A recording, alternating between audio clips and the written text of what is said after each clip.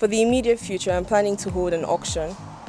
Actually, so it's an auction. It's um, you know selling off of artworks for a greater cause, obviously, which is furthering my career. Um, I can't put a date on the exhibition because it's been very highly requested for some reason. But um, I feel like an exhibition is something you have to really plan for, have a very cohesive theme about. So I'm not going to rush that.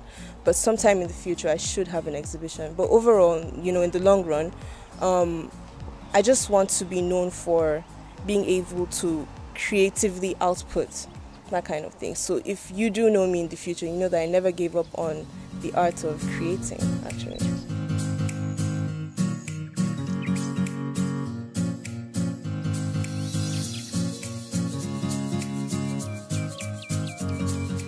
The future belongs to those who take charge. Today we're meeting 19-year-old Emediong, who is a student of medicine and surgery.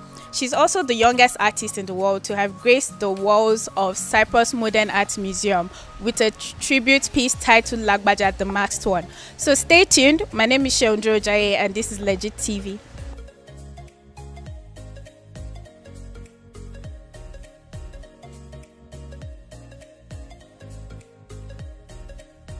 I'm a 19 year old medical student from the Near East University of Cyprus.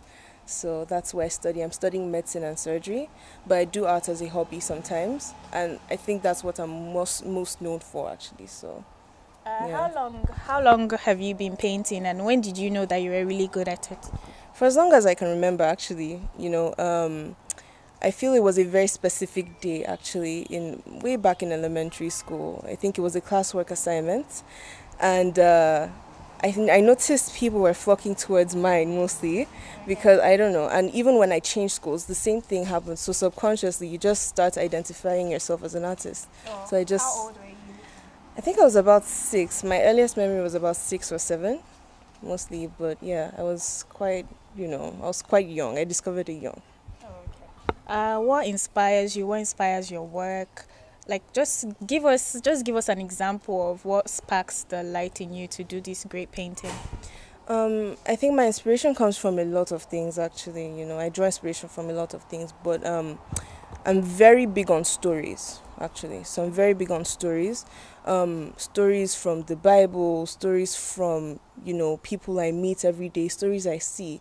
So what happens is I create a mental image of it, of whatever story is being told to me, and I, and then I decide to you know capture it and just keep it in a painting, that kind of thing. That's my way of documenting the things I see, you know. So that I draw inspiration from anything, mostly nature, you know.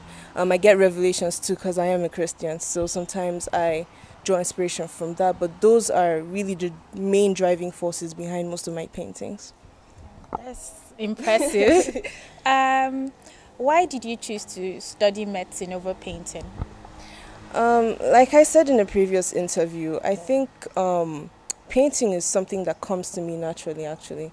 It's something that comes to me naturally. So I think, um, or I believe that if something comes to you naturally, there's no need to. Um, I mean, there is a need, but then I have a twin flame for both the arts and the sciences, you know. So, you know, I decided medicine isn't something you can just learn on your own, but I am a self taught artist. So I said, okay, maybe, you know, sometime in the future, I'll go get a class, that kind of thing. Those don't take too long, like medicine. So I could do both, that kind of thing. That's great. So, um, what's a typical day like for someone like you? You're both in the medical line and then you're also a painter. What's a typical day like for you? A typical day, uh, it's what you would imagine actually. You Wake up very early in the morning. Most classes start by 9 a.m. and by 5 on a good day 3. Um, I don't usually, you know, just set out to paint, usually, on, unless I get that inspiration or I started, you know, working on a project before. So I, you know, I continue the project maybe after school. But um, I feel like everything at the end of the day boils down to time management, really. Because, you know, you can't. Um, those are two very demanding things to do. So the way you manage your time, I can dedicate, let's say, an hour to a project. Depending on how quick I am, I could finish it up. So that's a typical day. You know, I read a lot. Um, I try and educate myself on some things. What's your favorite book? Do you have a favorite book? Uh, it, it, it would be Purple Hibiscus. I'm a huge fan of Chimamanda. Chimamanda, honestly. Honestly. Mostly poetry. I don't have like a favorite book, but I have like a favorite, you know, poetry collection, that kind of thing. So, Rupi Kaur, um, the rest of them, honestly, there's so many of them I can't pinpoint, but I read actually. Okay, um, so what does your family feel about these two extreme ends of career and talent that you've chosen? Do they support you? Like, how how does the what's what what's the discussion like in the house? uh, so are you studying medicine today? Oh no, mommy, I'm painting today. Like, what's what's Oh no, they support me hundred percent, hundred percent. They have my back actually, you know, and I'm really grateful to them for it because um, you don't you don't find that very commonly in most Nigerian households.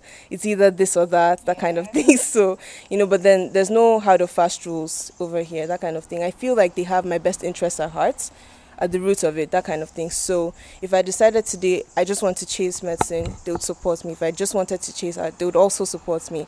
So seeing as though they would they want me to do both or they support me doing both, I feel like the main concern and I feel like any Nigerian parent would or any parent at all would be concerned about is these are two very demanding things. How would you juggle them, you know? So they just have your best interest at heart really, but they support every single thing I do. That's, That's it. You're, you're, lucky. what are your plans for the future?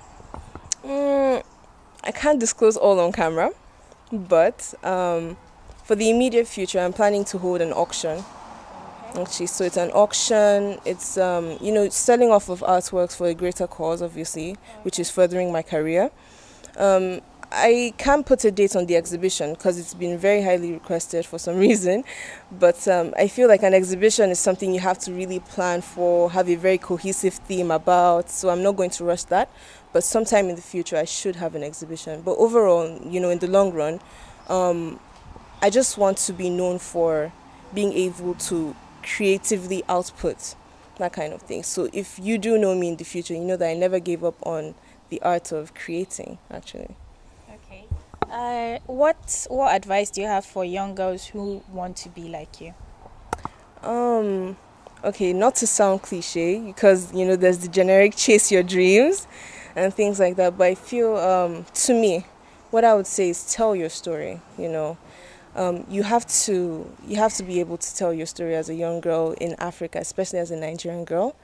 Um, we're at a time where Africa is being pushed out there, so this is actually the time to tell your story. And um, you know, some I figured just just personal lessons. I figured that we get so hung up on the destination that we forget about the journey. So the journey is really what you have to tell. That's your story, really. Because if you just pop up one day and you know there's no story behind it, you know, so what's the creativity there? What's the story there? How do you inspire people and yourself? You know, so I feel like most people should concentrate on the journey because that is what makes you you. That's the becoming of it all is what you should focus on. So yeah.